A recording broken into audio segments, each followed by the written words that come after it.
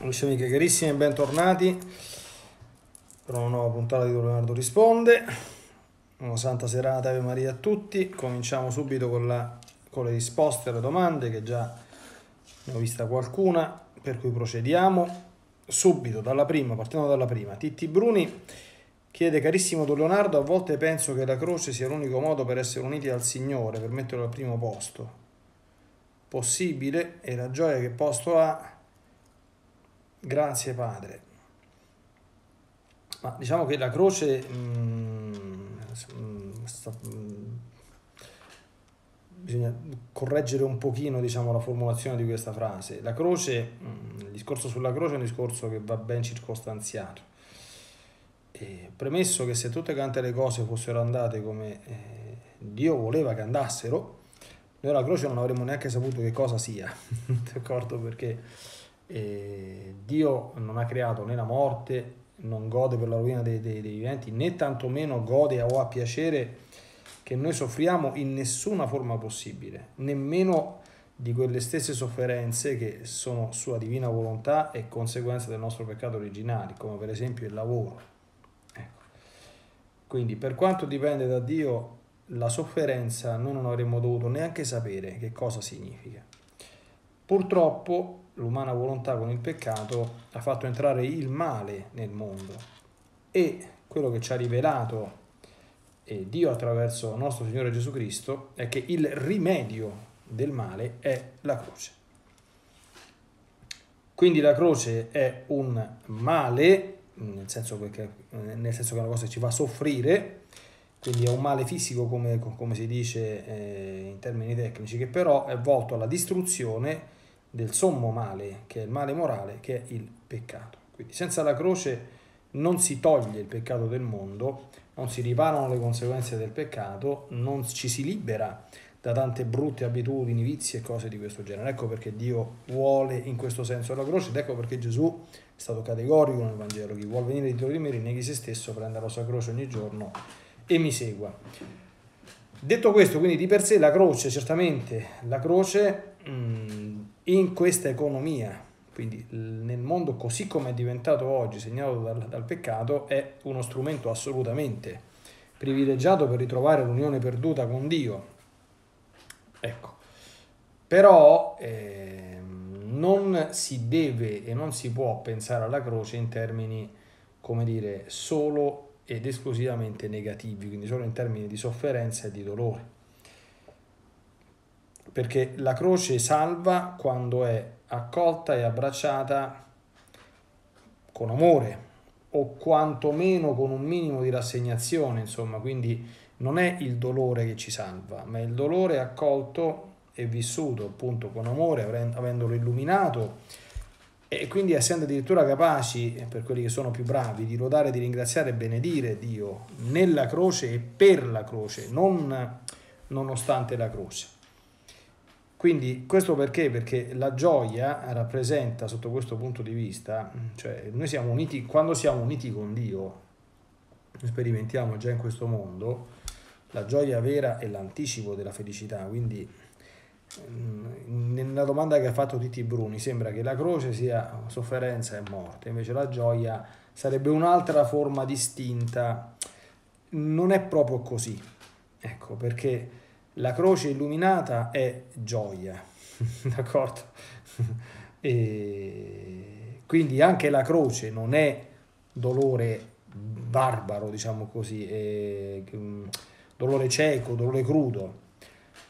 E tutte quante le cose poi che il Signore ci dona in grazia spirituale o cose belle della vita, certamente, se nella misura in cui si impara ad accoglierle e a recepirle come doni e atti del suo amore e della sua divina volontà, certamente anche quelli divengono, divengono fonti privilegiate dell'unione con Dio. Chi conosce un pochino la, la divina volontà sa che la divina volontà completa un po', diciamo così, eh, l'orizzonte ascetico classico, tradizionale, no? dove grande importanza avevano ed hanno tuttora le virtù, il combattimento contro il peccato, contro i vizi, quindi la mortificazione e la penitenza, ma in questo orizzonte eh, l'accoglienza e la scoperta di tutte le fonti immense, tuttora aperte di gioia e di esperienza viva dell'amore di Dio, non solo che sono da dover prendere, ma è cosa assolutamente lodevole, quindi c'è un benessere di vita che certamente contribuisce anche questo a vivere meglio. Le inevitabili croce che sempre come atti di amore il nostro Signore ci mandano per il nostro bene e per la nostra salvezza. Giamma Laurenti scrive un tema di rado posto all'attenzione dei fedeli da, dai sacerdoti del raccoglimento prima della Santa Messa e del silenzio della preghiera subito dopo. Posso provare a sensibilizzare il mio ottimo parroco. Allora, mm, questi temi certamente è importante viverli e scoprirli. Quindi la prima cosa da fare, mano a mano che se ne interiorizza l'importanza, è cominciare a viverli. I poveri parroci, eh, purtroppo, eh, pur essendo consapevoli del, della loro importanza, io lo, lo capisco, eh, non sempre trovano la possibilità, per tante cose, di poter fare un adeguato tempo di, di, di, di preparazione e un adeguato tempo di ringraziamento. Non voglio, insomma, mm, come dire, sembrare che questa non sia una cosa importante. Comprendo però che eh, a volte non sempre, a volte non subito si riesce a come dire, organizzare bene il tempo per fare in modo che alcuni momenti, e questi sono importanti, siano blindati. Però io da parroco posso assicurare che la vita, insomma, non tanto in una piccola parrocchia come quella in cui uno sto, ma se oggi stesse uno con 30.000 abitanti e non accade di rado, insomma, o con certe situazioni sono 2, 3, 4 parrocchie, eh, cioè, eh, come dire, in queste condizioni può diventare, come dire, difficile, no? Vede Gian Maria, eh, Giamma Laurenti, mh, mm, sensibilizzare un parroco su questa cosa è un'operazione che si potrebbe in teoria anche fare, però occorre avere molta molta mm, cautela e attenzione, no? perché ogni sacerdote più o meno sa questa cosa, quindi se eh, poi non, non, so se lei ne può essere certo insomma, di questa cosa qui, perché può darsi che un sacerdote faccia la preparazione alla Santa Messa in camera sua, quindi che non, che non lo faccia diciamo così pubblicamente in chiesa no? o anche dopo il ringraziamento, magari per non essere disturbato, se ne sale in camera sua e fa il ringraziamento. Questo, in certi contesti ci può stare anche questo, no? E, mm, quindi mh, ci vuole in ogni caso una straordinaria delicatezza, non si può andare a fare un rimprovero diretto, insomma, a un parroco su questa materia, eh, perché credo che, a meno che non c'è davanti proprio un santo, come dire, da, da canonizzazione immediata, cioè, eh, ne, ne, ne, ne, risulterebbe urtato, d'accordo? Perché insomma è una cosa insomma, che se uno è capace di, di, di, di fare un discorso molto prendendolo per, per, la larga, quindi parlando molto molto in termini generali sulla bellezza del silenzio prima della messa, del ringraziamento dopo, ma senza dire tu non lo fai, cerca di farlo, quindi che, ripeto, bisogna proprio tra l'altro avere anche le prove oggettive e in ogni caso insomma andare a fare un rimprovero diretto su questa cosa capito? Cioè io non so se un parroco se lo prenderebbe nemmeno da, dal vescovo, insomma, no? quindi non lo so se lo prende da, da, un, da, da un fedele laico, bisogna sempre fare molta molta attenzione. Io invito sempre a non giudicare perché, ripeto, ci possono essere sorprese, quindi magari quel sacerdote non non ha modo, magari deve stare in confessionale, magari non so che, e magari si prepara un'ora prima, cioè ha delle sue forme particolari, quindi è sempre un pochino complicato. Se lei ha coperto l'importanza di questa cosa, faccia in modo innanzitutto di farlo lei 10 minuti, un quarto d'ora di, di, di, preparazione alla messa e, e poi un tempo di, di, di ringraziamento. No? Quindi, eh, ecco, spero di essermi spiegato, insomma, quindi eh, anche nel fare il bene, nel perseguire il bene, dobbiamo fare sempre attenzione che a usare mezzi, forme e modalità opportune, insomma, perché a volte eh, io ho imparato una cosa nella mia esperienza di, di, sacerdote, questo è un pochino liberante anche per noi stessi, eh, anche per me. Io una volta pensavo di dover quasi, come dire, eh, forzare le persone a diventare sante, d'accordo? Perché cioè, era come se mi sentissi io, come dire, responsabile, forse per una, dire, eccessiva interiorizzazione, diciamo così, del ruolo del, del ruolo del sacerdote come strumento per la santificazione altrui, della santità altrui. Questo è un po' troppo, d'accordo? Perché se uno entra in questa dinamica, poi che succede? Che se ti trovi davanti le persone che sante non sono, come dire, gli tiri il collo. Questo non va bene, questo qui. Nel senso che eh, ciò che tutti noi dobbiamo fare, un sacerdote più degli altri, è favorire, dire, un certo processo eh, di eh, crescita, di acquisizione, mh, mm, di elementi che in coscienza poi ti portino a maturare e ti portino a te a fare delle scelte fatte in un certo modo, no? Ecco, perché Dio stesso rispetta la nostra libertà in maniera, come dire, tassativa e quindi nessuno di noi è più grande di, del, dell'Altissimo e quindi certamente deve trovare sempre dei modi di porsi e di proporsi che al tempo stesso siano stimolanti, anche molto stimolanti, a volte anche eh, anche, anche molto, come dire, super stimolanti, però senza esagerare, quindi senza, come dire, andare a fare una sorta di, di quasi aggressione, no? Che la persona, insomma, poi anziché convertirsi si, si irrigidisce, si, si chiude ancora, ancora di più. Ecco, queste sono, sono cose che ho maturato lentamente, insomma, nel corso del, del tempo, no? quindi mh, tutti siamo presi dal desiderio, noi vorremmo che tutti quanti fossero amici di Gesù, che fossero santi, pensiamo anche a tante mogli che i mariti non, non li seguono in chiesa, oppure genitori che i figli si sono un pochino allontanati, noi stanno angosciati, tutto comprensibile. Ecco, però il problema è che dinanzi a queste cose le vie che noi possiamo percorrere e che dobbiamo percorrere sono vie che però devono essere eh, propositive, quindi che aiutano, che offrano stimoli, eh, nel rispetto però della libertà delle scelte che fanno le altre persone, che sono le loro. D'accordo? Né noi dobbiamo sentirci responsabili, né possiamo scavalcare, come dire, la necessità che ognuno faccia le proprie libere scelte. Quindi un parroco ancora di più. Ecco, scusatemi se mi sono dilungato su questo. Yurley GM scrive Leonardo, buonasera, le penitenze che danno dopo la confessione si possono cambiare?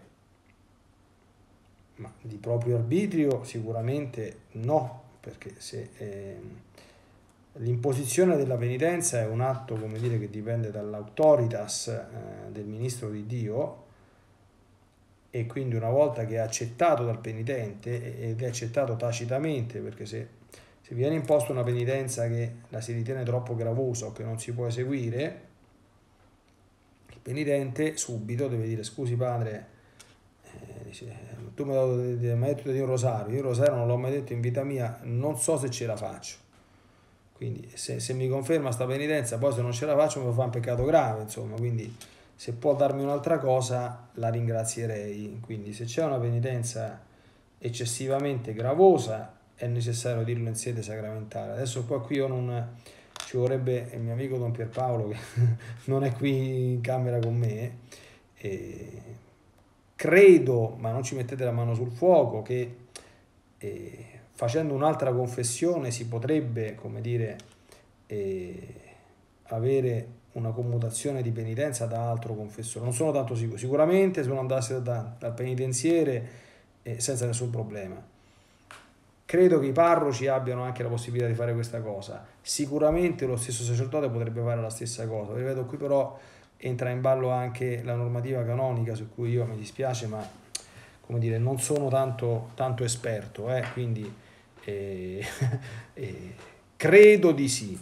Sicuramente mai di libero arbitrio eh, fatte da un, come dire, da, dal penitente stesso. Questo è sicuro, questo qui. Ecco, um, un altro sacerdote credo che potrebbe farlo avendone la, la potestà canonica, quindi credo che un parroco eh, che ha potestà canonica sui suoi sudditi, che così si chiamano tecnicamente, possa fare una cosa di questo genere. però prendete queste cose quando si entra in domande tecniche, cioè molto molto tecniche, perché qui eh, ricordate sempre che io sono mh, mm, specializzato in teologia dogmatica, quindi mh, mm, ogni tanto lo dico, non in diritto canonico, non in liturgia, neanche in Sacra Scrittura, non in teologia morale, quando sono state fatte le domande sulle donazioni degli organi, tutte queste cose qui. È chiaro che e un sacerdote più o meno c'è un'infarinata, io diritto canonico l'ho studiato nel primo ciclo, ho studiato liturgia, ho studiato morale, ma non capito, un conto essere specializzati, che uno ha approfondito bene una disciplina e quindi diciamo in linea di massima, salvo i limiti propri della natura umana e le defiance della, della memoria, sa quello che dice, no? Eh, però eh, i tuttologi non esistono neanche in campo ecclesiastico, bisogna sempre avere la consapevolezza insomma dei limiti e delle approvazioni io non mi vergogno insomma di dire questa cosa qui perché eh, capite? Cioè mh, se uno va uh, dal medico della mutua al medico della mutua insomma ha una sua competenza ma se c'è un tumore di andare all'oncologo. Eh, l'oncologo lo fa l'oncologo l'ortopedico non è capace a fare l'oncologo d'accordo? Certo che sa cos'è un tumore d'accordo? E te lo sarà pure forse anche diagnosticare come, come sa fare un medico di, di base ma non fa l'oncologo quindi poi eh, non, non, non, non, è in grado insomma, di intervenire adeguatamente. No? Quindi così capiamo anche un po' le dinamiche. Ecco. Io più tempo passa, più ho un po' paura dei tuttologi, cioè di quelli che parlano alla grande di tutto e di tutti, insomma, penso che ci voglia sempre un po' di senso del proprio limite, insomma, no? Quindi uno cerca per carità di di, di, di, dare il massimo aiuto possibile, ma certamente nei limiti delle proprie possibilità e competenze. Vincenzo Trafi scrive: Don Leonardo sa come si è pronunciata la Santa Madre Chiesa circa l'apparizione della Santissima Vergine Maria in San Pietro il 27 marzo nella supplica di Papa Francesco. Mm, Vincenzo, io ho seguito tutta quanta quella preghiera e sinceramente non ho visto nessuna Madonna apparire il 27 di marzo a San Pietro, quindi non ho mai sentita questa storia. Non so se gli altri amici sappiano questa, quindi addirittura la Chiesa si, si pronunci su una cosa di questo genere, insomma, eh, non saprei proprio cosa dirlo, insomma, io non, non, non, saprei proprio cosa rispondere, ma um, non mi risulta che ci sia niente di ufficiale dentro la Chiesa Cattolica, ma neanche che si parli di questa cosa dentro la Chiesa Cattolica, insomma, adesso poi non lo so se c'è qualcuno che ha fatto qualche qualche ripresa o qualche, o qualche cosa dove magari pensava di vedere dietro qualche, non so, nuvola o cose di questo genere, qualcosa di simile, insomma, ma non ne ho, non ne ho idea, mi dispiace, insomma. Giovanni Lauro scrive, Ave Maria, è possibile utilizzare i video delle sue meditazioni come orazione mentale o bisogna fare la ben nota procedura in silenzio e da soli? Allora, mm, allora, se è un video di una meditazione, io generalmente durante la meditazione, certamente in forma ristretta, perché altrimenti cioè, io, io faccio queste cose, ripeto, le faccio volentieri perché mi è stato chiesto insomma da più di qualcuno di mettere in comune i frutti delle, delle meditazioni, soprattutto perché vertono sul libro di cielo. E, che molti hanno desiderio di meditare, non sempre riescono a farli da soli, non sempre riescono a comprenderli. E allora eh, qualcuno mi chiese questa cosa diverso tempo fa, quel qualcuno poi aumentò e io ho accettato insomma di fare questa cosa, ecco, anche se ovviamente eh, durante una meditazione io non riesco certamente a puntare la, la telecamera su, su me stesso, qualcuno si lamenta che durante le dirette si vede l'inquadratura dell'immagine della Madonna, ma insomma, eh, per me io sto pregando in quel momento lì, no? quando uno prega, cioè eh, non è come quando sto parlando con voi adesso in una trasmissione interattiva, quindi non, non, non mi piace insomma essere ripreso quando, quando, sto pregando, né essere guardato quando sto pregando, quindi già poi che una fatica. Comunque in un contesto di meditazione eh, io faccio la preghiera di preparazione, certamente, no? Quindi chiaro che se uno deve sentire una meditazione, può anche, e sarebbe bene che lo facesse, se la sente in diretta comincia 5 minuti prima, se la sente in differita lo fa da solo, e se vuole utilizzare veramente come preghiera, come dovrebbe essere quel tempo di meditazione, anche perché dopo terminata la meditazione faccio un breve silenzio che evidentemente per chi ascolta, soprattutto in differita, ma può farla anche in diretta, insomma, può, può anche interrompere, perché dopo faccio una piccola preghierina conclusiva e si può prolungare. Quindi diciamo che nella meditazione è seguita, diciamo così, la struttura dell'orazione mentale, cioè presenza di Dio, quindi l'atto di unione con la divina volontà, poi l'invocazione della sua assistenza e del suo aiuto per la meditazione, una Ave Maria, e, e poi insomma anziché fare il silenzio, essendo comunque un momento diciamo così, eh, eh, capite dove faccio un piccolo canto insomma in introduttorio che, che, che, aiuta un pochino a entrare in preghiera. Poi c'è la lettura, la meditazione, poi c'è il silenzio e poi c'è l'orazione conclusiva. Chiaramente io ho sempre avvertito che dal termine della meditazione in poi eh, bene sarebbe una personalizzazione perché la, la meditazione poi termina con il dialogo e con la preghiera che sgorga dal cuore di chi ha meditato e che è personale, d'accordo? Quindi è evidente che per chiudere la meditazione come meditazione faccio un breve silenzio e una preghiera alla Madonna per, conclusiva, più la benedizione essendo un sacerdote, no? È evidente che in quel tempo poi chi vuole fare bene l'orazione mentale lo dovrà vivere personalizzandolo, questo è, è chiaro, no? Allora, Diego 3D86. Buonasera Leonardo, che differenza c'è tra libertà e libero arbitrio? Grazie in anticipo. Questa è una bella domanda, Diego 3D, eh, a cui rispose bene Sant'Agostino. Eh, perché Gesù ha detto nel Vangelo che se rimanete fedeli alla mia parola sarete davvero miei discepoli, conoscerete la verità, attenzione, la verità vi farà liberi. Allora, quindi vuol dire che la libertà per essere reale ha bisogno della verità. Il libero arbitrio no. Allora, in linea di massima hanno una caratteristica comune, no?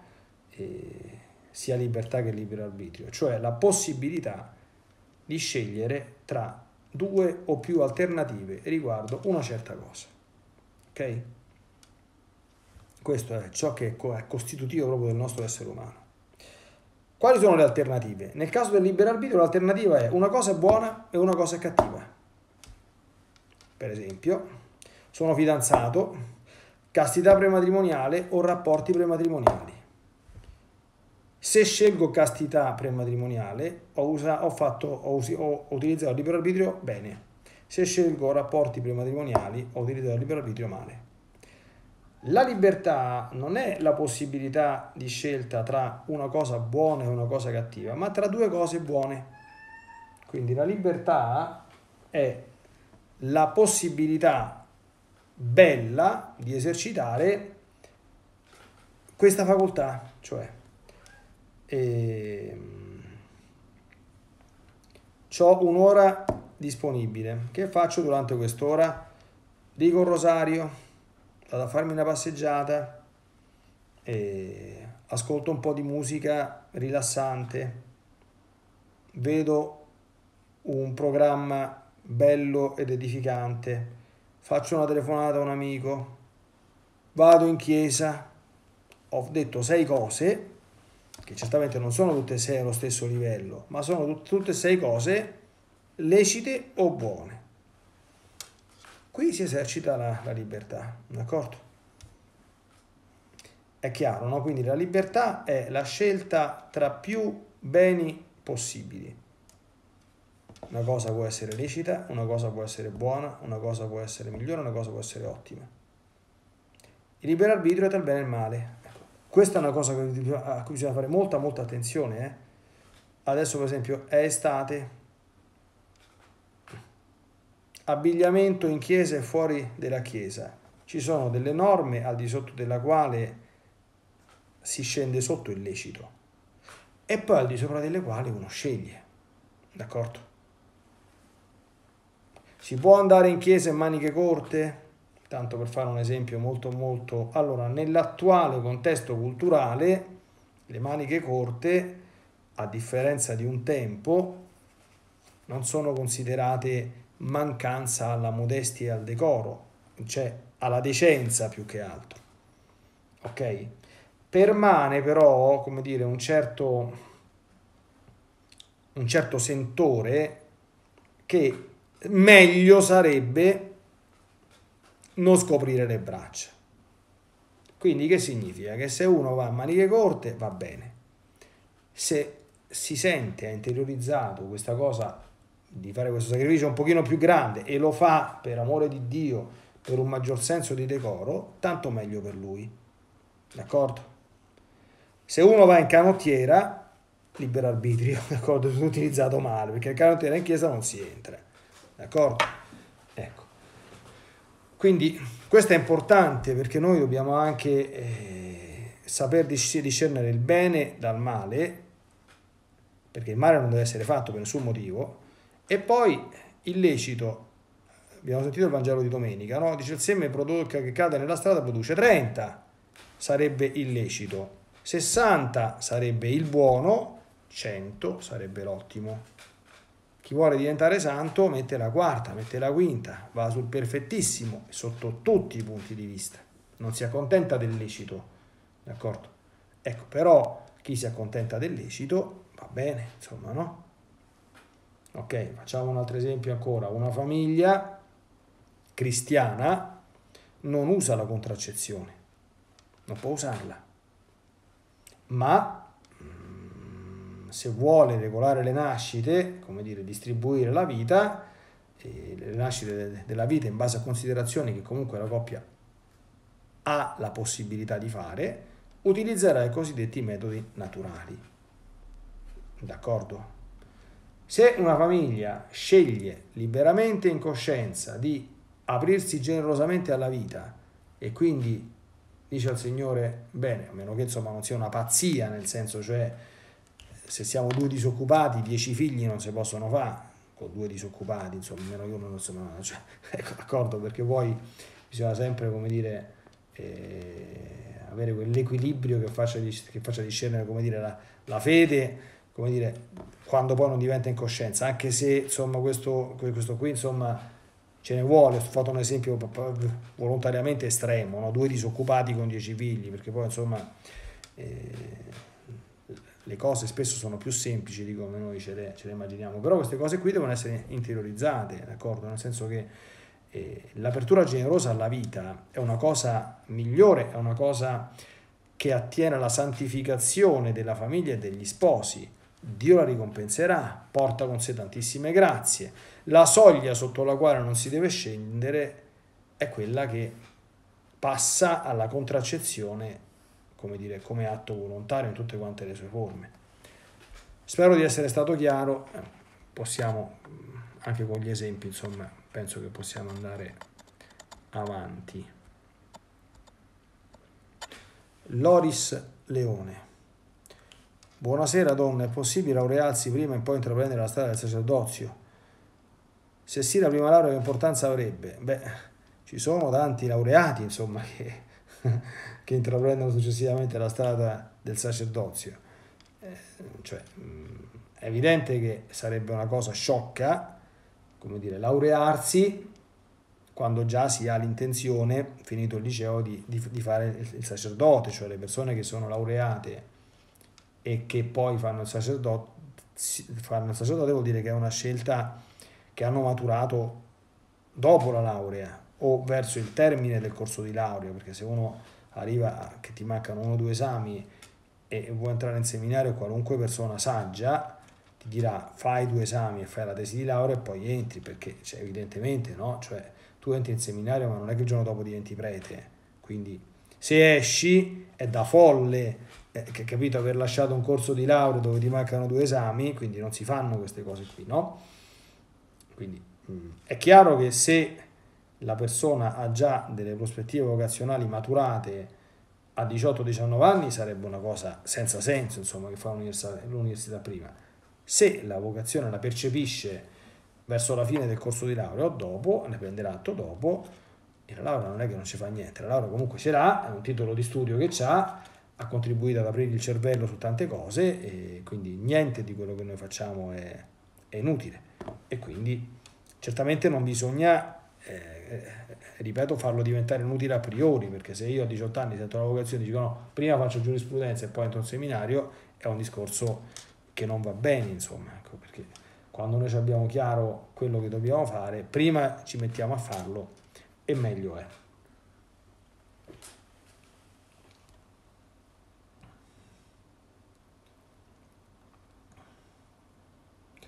Allora, scusate, sto scorrendo.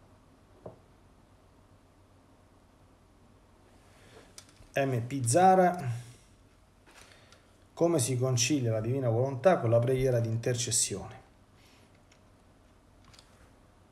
Non capisco molto bene questa, questa domanda, cioè la preghiera di intercessione è cosa raccomandata da Gesù stesso, dal Vangelo, dal Nuovo Testamento, per cui la preghiera di intercessione è cosa voluta da Dio. Ci sono alcune grazie che per volontà divina dipendono dal fatto che vengano richieste. La Madonna Fatima disse, fece vedere l'inferno ai pastorelli, c'è tanta gente che va all'inferno perché non c'è chi prega e si sacrifichi per loro cioè non solo la preghiera, anche il sacrificio fatto per, per, per il bene degli altri, eh, ma, ma, questo è disposto dalla, dalla, divina volontà, quindi Dio vuole che si faccia questo, quindi non, non, non riesco a comprendere il senso di questa domanda né a, a come dire, a, a immaginarmi cosa nel cuore di questo fratello, di questa sorella, di questa figliola, di questa figliola ci possa essere quando pensa a questa cosa, perché è evidente che la preghiera è espressione di divina volontà. A questo forse riguarda la, la, la, la presunta apparizione. C'era una nuvola con una forma un po' particolare. Ah, sì, eh, io non vorrei adesso scandalizzare nessuno, insomma, ma io insomma stare alle nuvole e queste cose un po', un po', un po così, cioè, io ci credo profondamente, diciamo, infinitamente alla Madonna e credo profondamente, insomma, eh, a tutto il bene che sta facendo attraverso tante apparizioni, riconosciute o in via di riconoscimento, insomma, non voglio dire alcune, insomma, sono abbastanza attendibili anche se ancora non, non riconosciute, però, insomma, mh, mm, proprio come, come, indole, il cielo mi, mi perdoni, io mi rimangio tutto se, se questo è, è sbagliato, però come mia sensibilità personale non mi sento molto incline, insomma, eh, si vede una cosa, insomma, voi sapete, insomma, che le, le, nuvole è quanto di più evanescente, se uno fissa qualche cosa, eh, cioè non, non, è difficile scorgere le forme, ogni tanto anche sui marmi per esempio, no? sui marmi de, delle mie chiese, dice, hai visto c'è, c'è la faccia di quello, quello sembra il diavolo, quello sembra quell'altro, dico, ma dove lo vedi? Cioè, eh, dopo è chiaro che se uno c'è qualcuno che ti... cioè se tu dai, cioè vedendo una cosa, ci appiccichi sopra una certa immagine, puoi anche, come dire però non credo che chi ha fatto il marmo volesse fare la rappresentazione simulata del Deo, speriamo, insomma, cioè, tutto è possibile, no? Capite? Però si entra nell'ambito delle, come dire, delle, delle possibilità potenzialmente infinite, no? Ecco.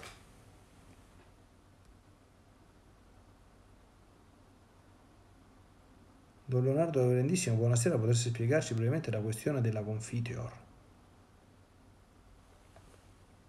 È vero che uno stesso peccato mortale commesso una terza volta non merita assoluzione. Ah, numero uno, Marco, la questione della confiteor, detta in questi termini, io non so, le confesso candidamente di cosa stia parlando. Sulla questione del terzo peccato mortale commesso una terza volta, questa è, è una frase che disse Padre Pio, è evidente che tutte quante queste cose eh, allora, bisogna cogliere, come dire, la sostanza di questo, di questo uso severo che aveva Padre Pio e anche però il contesto, come dire, storico, eh, storico-religioso in cui lui è vissuto e operato. E... Attenzione, qui si parla di peccato mortale. Peccato mortale significa che la persona l'ha commesso con piena avvertenza e deliberato consenso, cioè sa bene che è un peccato mortale, quindi non ha dubbi su questo, liberamente e volontariamente sceglie di farlo su materia che sa essere grave, quindi lo sa che sta offendendo gravemente il nostro Signore. Allora, che cosa significa? Siccome Dio, la misericordia di Dio non può mai diventare una sorta di autorizzazione al peccato, San Paolo ha detto che a nessuno è stato dato il permesso di, di peccare. Io non posso, sta scritto nel libro Sapienziale, dire, dice non dire Dio è misericordioso così da aggiungere peccato a peccato. Cito proprio testualmente, non mi ricordo se era il Siracide o qualche altro libro sapienziale, no?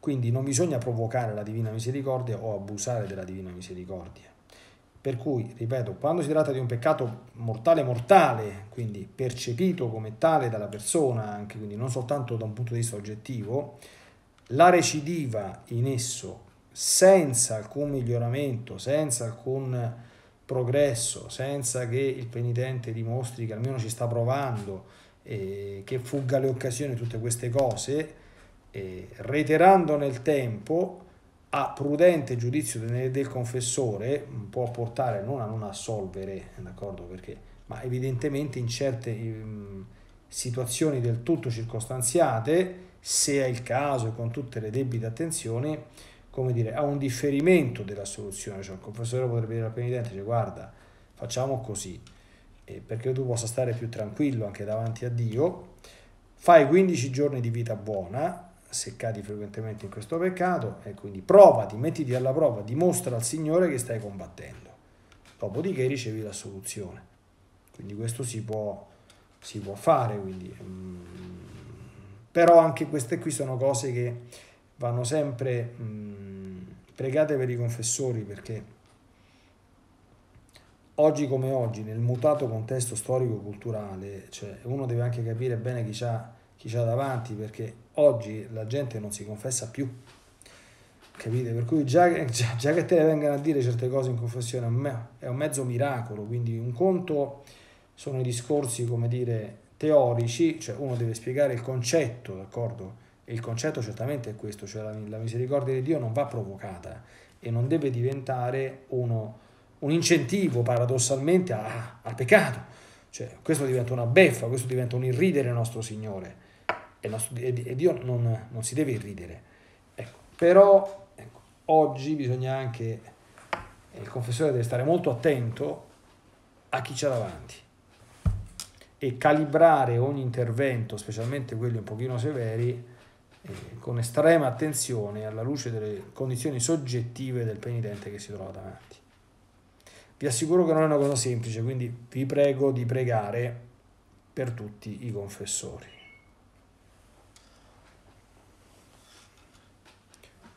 Lavori online paganti. Buonasera Don Leonardo. Nel credo cosa intende per la risurrezione della carne? Se l'anima già dopo la morte va in purgatorio, inferno o paradiso, a cosa serve risuscitare i corpi? Ah, figlio mio o figlia mia, cioè, noi non siamo anime disincarnate, noi siamo uomini, d'accordo? Gesù Cristo è diventato vero uomo, Gesù Cristo non è apparso come un fantasma.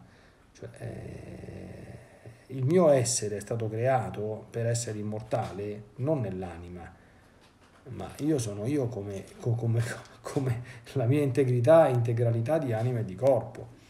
Cui la morte è una cosa gravissima perché eh, il corpo che io abito nel, nella terra si troverà in condizione di cadavere, quindi eh, tornerà polvere, quindi eh, cioè, questa non è evidentemente una situazione... Eh, possibile. Ecco. Tra l'altro, perché tra l'altro le cose che Dio crea non si dissolvono nel, nel nulla. E quindi siccome l'uomo è uomo, certo che il principio della salvezza è l'anima perché, perché eh, il corpo, eh, come dire, ha delle sue norme di funzionamento autonome, no? ma che sono del tutto, come dire, indifferenti da un punto di vista morale. Cioè il mio cuoricino, se fa il bravo, fa battere, fa circolare bene il sangue, ma questo lo fa da solo, in ottemperanza delle leggi stabilite da, da Dio, e non può non farlo. E viceversa, essendo io un essere umano, la mia umana volontà può scegliere se fare il bene o fare il male, come abbiamo spiegato prima al nostro amico, quindi ha il libero arbitrio. Quindi se volgersi verso il bene e se si volge verso il male pecca e se si volge verso il male produce il male e trascina verso il male l'anima e il corpo. Per cui risorgeranno i beati, risorgeranno anche i dannati, d'accordo? Perché il premio e o la retribuzione saranno perfetti, saranno soltanto una cosa spirituale dell'anima, ma anche del corpo. Cioè, il corpo è creato da Dio, né più nemmeno come l'anima, eh? quindi cioè, eh, la Madonna in cielo sta col suo corpo santissimo, la Madonna non è passata neanche per, per la corruzione, per la morte, quindi la Madonna non è uno, un angelo come dire, con sembianze femminili. La Madonna è una donna, d'accordo? Così come Gesù Cristo è un uomo maschio, d'accordo? Dall'altra parte state attenti che tutte le sciocchezze che si dicono oggi in giro non ci stanno, stanno maschi e femmine, d'accordo? ecco. Nicola Vedda scrive, è peccato nascondere qualcosa ai genitori. Allora, è peccato nascondere qualcosa ai genitori se si tratta di qualcosa evidentemente di, di male che i genitori dovrebbero sapere che non si dovrebbe fare, d'accordo? Se uno nasconde ai genitori, non lo so, che che ha fatto un gioco lecito con un suo amichetto, che ha giocato a nascondino, non fa niente, insomma, no? ecco. ma se uno nasconde ai genitori che eh, non ha fatto i compiti, è evidente che nascondere questa cosa non è una cosa buona perché eh, generalmente si nascondono le cose di cui uno dovrebbe, si vergognerebbe un pochino o ha timore di essere scoperto. Ecco ai genitori le cose si possono nascondere, ma nostro Signore, insomma, eh, no. Quali doveri ci sono per chi prende lo scapolare del Carmine? Allora, tutti quelli che sono tecnicamente dovuti non li conosco perché bisogna parlare di queste cose con i padri carmelitani, portando addosso un oggetto di, di devozione, evidentemente. Eh, il dovere che si ha è di vivere una vita cristiana eh, dignitosa e decente, essendo poi quello un gesto di particolare riverenza mariana, sarebbe opportuno aggiungere qualche pratica di devozione mariana. C'è una cosa particolare legata allo scapolare che è il privilegio sabatino, io adesso non ricordo tutte quante le cose che bisogna fare per ricevere, credo che online si, si trovino queste, queste cose, oppure parlare appunto bene e approfondire bene il discorso con un padre carmelitano. Pascendi Domenici Gregi chiede un attimo che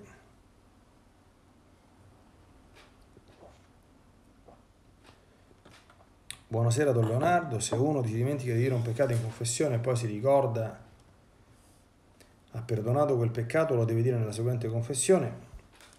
Dipende Mm, se è un peccato mortale, in base a quanto afferma il Concilio di Trento, bisogna dirlo. Se è un peccato veniale non è necessario uh, ripeterlo nella, nella confessione seguente, perché la confessione copre i peccati dimenticati, ma a quanto si legge nel Concilio di Trento, qualora tornino alla memoria alcuni peccati gravi, c'è l'obbligo di confessarli in una confessione successiva. Fermo restando che se si sono dimenticati per, per dimenticanza, evidentemente non bisogna, come dire, agitarsi, eh, cioè non è che se io mi sono scordato un peccato e l'ho realmente scordato, perché noi sappiamo se l'abbiamo realmente scordato o se facciamo finta di averlo scordato.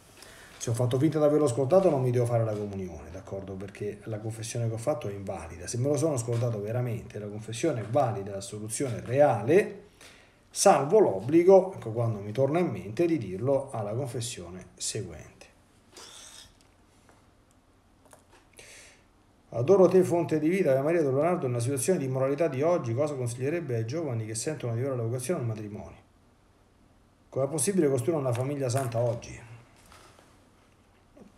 tutto è possibile per chi lo vuole e usa i mezzi, quindi non, cioè, oggi è semplicemente un pochino, un pochino più difficile, ma insomma io conosco tante persone, conoscevo e conosco, che eh, hanno, fatto, hanno intrapreso un fidanzamento santo. È chiaro che per fare una famiglia santa bisogna innanzitutto cominciare dalle basi, bisogna avere un fidanzamento santo. Io ho scritto degli articoli sul mio blog, sono, c'è, c'è proprio un articolo che si chiama il fidanzamento santo. Qual è il fidanzamento santo? Il fidanzamento santo è un fidanzamento vissuto anzitutto da parte di entrambi nell'amicizia con il Signore, quindi coltivando la conoscenza sempre maggiore di Dio, la preghiera, magari anche la preghiera insieme, la vicinanza ai sacramenti, eccetera. Facendo la scelta della purezza perché come tante volte raccontato, cioè il fatto che ci sia stata la rivoluzione sessuale, possono fare tutte quante le rivoluzioni che vogliono, ma la legge di Dio non si muove di un millimetro, d'accordo? Quindi quello che era male fino a prima del 68 è male anche dopo. D'accordo? Per cui durante il tempo del fidanzamento, se uno non vuole scendere troppo in particolare, eh, si può o non si può, c'è un confine, d'accordo? Tutti quanti i gesti che mh, servono a manifestare affetto e amore, come dire, non erotico, sono tutti quanti possibili.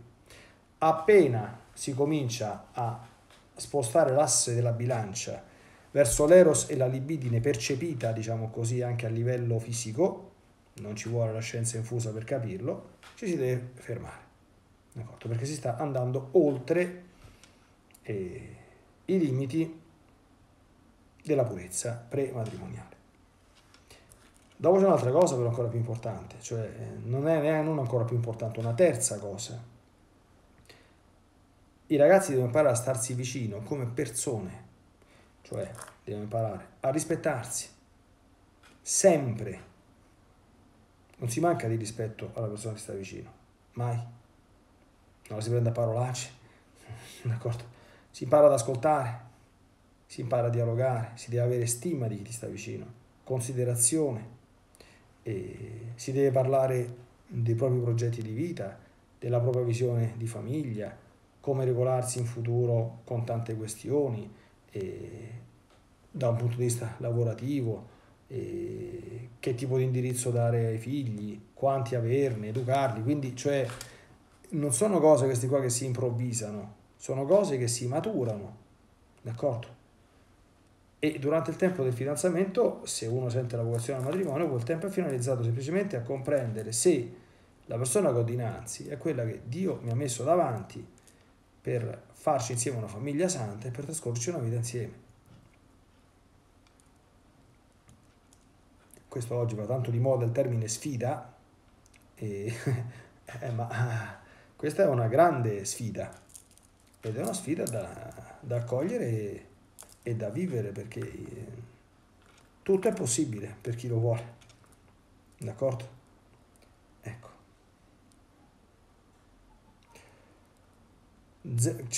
Evidentemente questo, questo discorso potrebbe essere approfondito all'inverosimile, no? quindi è una risposta a una domanda, ma su questi temi eh, ci ho parlato talmente tanto insomma, che sia, sia, per iscritto nel blog che per catechesi su, su catechesi insomma, si può approfondire variamente.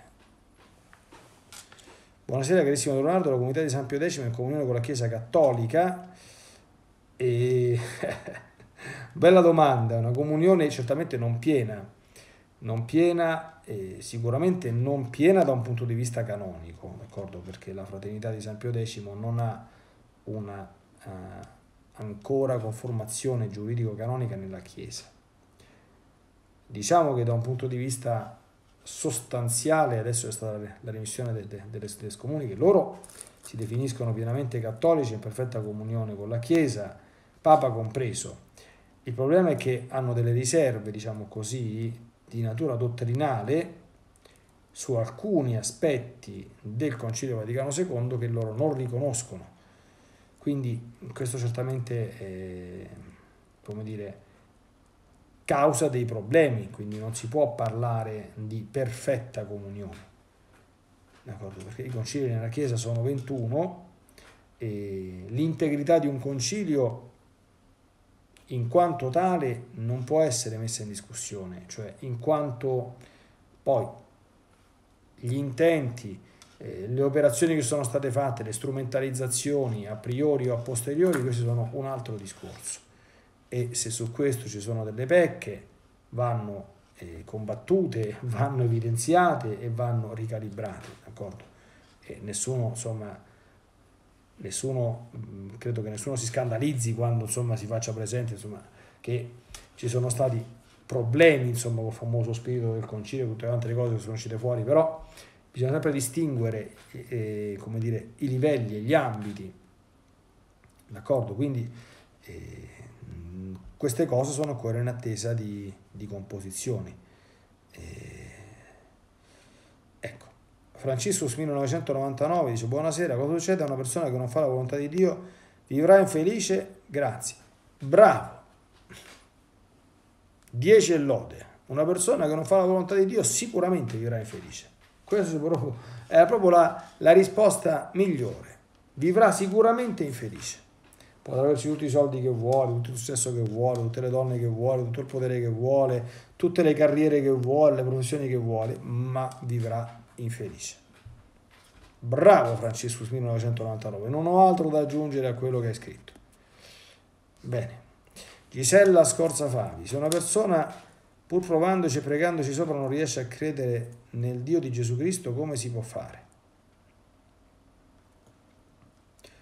E questa è una domanda un pochino... Eh, allora, rispondere a questa domanda in linea teorica eh, è molto difficile. Quindi, se si tratta di lei, figlia cara, le consiglio di, eh, di farsi un po' di sane chiacchiere, sante chiacchiere, con il suo parroco, con un sacerdote di, di, sua fiducia, quindi bisogna un attimo vedere bene cosa c'è eh, nella sua vita, nella sua storia, nella sua, eh, nel suo modo di porsi, nella sua umanità, nella sua psiche, ferite, cose, cioè comprendere da che cosa possano dipendere alcune remore, no? Perché possono, cioè un discorso di questo genere è potenzialmente, come dire, infinito. E se si tratta di una persona estranea, cioè allora la conversione è un dono, di, cioè Gesù, Gesù nel Vangelo dice nessuno può, San Paolo scrive nelle sue lettere, non Gesù, nessuno può dire Gesù è il Signore se non sotto l'azione dello Spirito Santo. D'accordo? Quindi eh, quando c'è una, una, una cosa di questo genere bisogna vedere se ci sono degli ostacoli dipendenti da certe strutture mentali, esistenziali che la persona si porta dietro, oppure se non c'è ancora la grazia di credere che Gesù Cristo è figlio di Dio. D'accordo? Perché credere nel, nel, Dio di Gesù Cristo e credere che Gesù Cristo è figlio di Dio è esattamente la stessa cosa. E quando questo non c'è bisogna pregare. Cioè, per la conversione eh, di chi non conosce ancora l'amore di Dio bisogna anzitutto pregare, no? Andrea Battimiero 99, padre le chiedo un parere prima come giurista e poi come sacerdote Realmente il DDL ZAN potrebbe comportare problemi a noi cristiani nell'annuncio del messaggio evangelico in toto. Ma guarda, io sto seguendo il dibattito su questa cosa in maniera molto molto marginale perché mm, mm, dicono eh, persone molto molto autorevoli, anche la CEI si è pronunciata con una certa preoccupazione, eh, che alcuni passaggi eh, porrebbero, come dire, delle possibili limitazioni alla libertà di espressione. Eh, ho letto qualche articolo da parte di fonti, come dire, vicine, favorevoli, che relativizzano, minimizzano, cioè non è affatto vero, non succede niente a destra e a sinistra. Mm, io dico sempre che eh, se si fanno, non ho ancora, non ho letto questo, questo, questo, questo testo, insomma, perché mm, chi, chi, chi, deve operare su queste cose sono quelli che stanno in Parlamento per ora. Certamente io eh, faccio mie tutte quante le motivazioni di preoccupazione e di protesta, ho anche retweetato sul mio profilo Twitter insomma qualcosa, eh, qualche messaggio da parte di chi sta un pochino preoccupato e io condivido insomma le, le preoccupazioni. E io diciamo da, da un punto di vista generale non, non mi sembra che in Italia ci siano fenomenologie tali di questo genere, anzi c'è una, una grande apertura insomma, nei confronti anche di un certo, di un certo mondo, e nella come dire, mh, persuasione che per l'esistenza del libero arbitrio è possibile, per del libero arbitrio, eh, quindi è possibile alle persone fare le scelte che maggiormente ritengono opportune, certamente prendendosi le loro responsabilità e non per questo dovendo comunque essere oggetto di atti di discriminatorio, di violenza o cose di questo genere. Io non, cioè già dicono i giuristi che tutto questo è già ampiamente contenuto e io sono d'accordo nei principi generali del, dell'ordinamento. Se uno dovesse fare delle formulazioni legislative ambigue, che cosa succede? Che la formulazione legislativa ambigua poi dipende dal magistrato che la applica. E, e, e se trovi un magistrato che, che vuole andare a fare come dire, eh, un'applicazione come dire, severa nei confronti di una denuncia verso qualche persona, se gli dà lo strumento può farlo e può metterla in un guaio. Quindi più di questo io allo stato attuale non, non, non posso dire, però certamente noi figli di Dio, vedo la mobilitazione che c'è insomma in giro, le sentinelle in piedi e tutte quante queste cose qui, certamente fanno e danno motivo insomma di, di pensare non poco. Noi preghiamo e speriamo che queste cose non, non vadano in porto perché eh, la verità non può essere, deve essere detta bene, a tempo e luogo opportuno, deve essere detta la verità sostanziale, quindi noi parliamo di valori, quindi diciamo questo è bene e questo è male, quindi condiamo il peccato non il peccatore, ecco, dobbiamo chiudere perché la diretta sta per terminare. Alla prossima, Ave Maria.